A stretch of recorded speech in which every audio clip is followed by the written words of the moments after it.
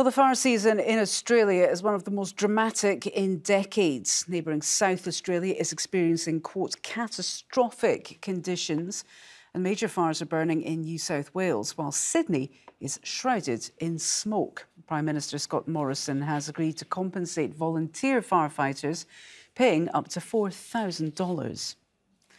Well, let's get more on this now from Thomas Newsome. He's a lecturer at the University of Sydney School of Life and Environmental Sciences and joins us by Skype uh, from Bundanoon in Australia. Good to have you with us uh, on the programme. Now, Australia is no stranger to wildfires. This is the uh, bushfire season. So, what would you say is different this time round? Well, obviously, Australia is well known for having uh, prolonged droughts and, and big fire seasons. But what we're witnessing over the last few, man, few months is really unprecedented. Um, in a lot of people's living memories, they cannot and have not witnessed the amount of area that has been burnt so far uh, 5 million hectares across Australia, 3.4 million hectares in New South Wales alone. And these fires are, are so severe um, that they're causing cat- catastrophic uh, damage to ecosystems, and the fires are very quickly encroaching on uh, urban areas and rural areas where people are either living their livelihoods through agriculture or where they where they actually live. Now, you mentioned uh, you, you think this is unprecedented, but the, the reaction from the Australian government seems to suggest otherwise, does it not? Well, I think the the reaction uh, was very slow, and I think there should have been a swift, a much swifter uh, response to both acknowledge that these conditions and the fires that people are witnessing are unprecedented. There should have been a swifter response acknowledging that the fires and the conditions that we're seeing and witnessing are linked to climate change because some of the predictions, obviously, from climate change include prolonged droughts and extreme heat um, and heat waves um, that we're seeing across the country.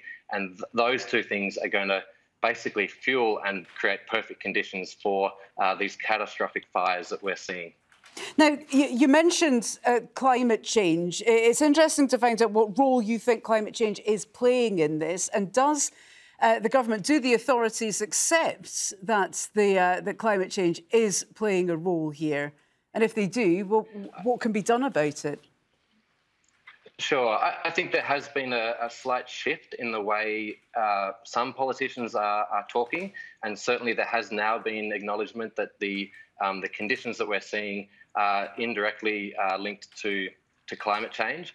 And look to to really um, tackle this issue, there needs to be a huge uh, local response but also a global response to uh, reducing greenhouse gas emissions and shifting away from fossil fuels and up the uptake of, of, of renewables.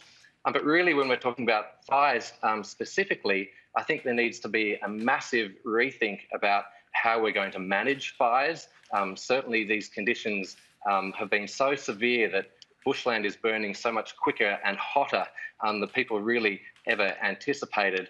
And that in itself is going to create I think the need for a shift in the way that we that we manage fires and probably massive reinvestment um, back into our land management and, and national parks um, organisations um, to deal with this threat, which really we're only at the beginning of the fire season and we've already seen 5 million hectares burnt and it's these conditions and these fires are not going to slow down and they're not going to stop until we get um, really good rainfalls, and the predictions aren't good for that rainfall coming soon. Okay, Thomas Newsome there joining us live from Australia. Thank you very much indeed for your thoughts. Thank you.